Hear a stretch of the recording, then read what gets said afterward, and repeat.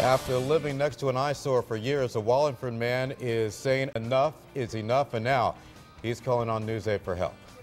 Good evening, everybody. I'm Keith Kountz. I'm Ann Nyberg. Banned from their own backyard. That's how a Wallingford family has been feeling for years. They say the town has been avoiding an eyesore and they want something done about it. That abandoned home is located on Bristol Street in Wallingford. News 8's Erin Logan has got their back and got the building officials to talk about their plan. She joins us now live with the very latest. Erin.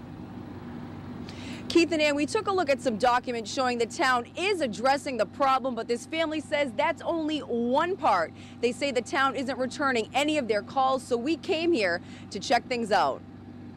This used to be someone's home when the Parmalees first moved to this Wallingford neighborhood. For the last four years, they haven't been able to stomach the sight of it. Today is my daughter's ninth birthday.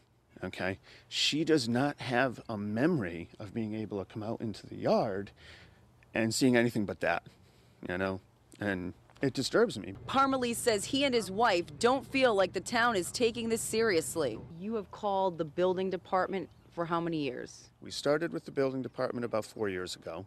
After 12 years of living here, it wasn't until late this summer that the Parmalees noticed this red garage. That's because it was covered by brush. You can see it in this picture.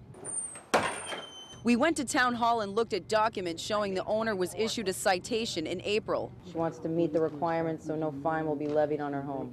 The owner did what she was told, but that was simply for cleaning up the outside. Parmalee says neighbors want these old structures with squirrels and raccoons running in and out gone. He says one neighbor offered to buy the property from her. Her response to that is that this was her family property we went to talk to the owner, but she didn't answer the door. Parmalee says the town needs to take another look at this. I really thought that they would have a lot more respect for the town that they live in. Now, the housing code enforcement officer did call me back this afternoon. He tells me that he agrees there is a problem here, but he's not 100% certain that those buildings will have to be taken down. He does promise that he'll go back and take another look. Live in Wallingford, Erin Logan, News 8.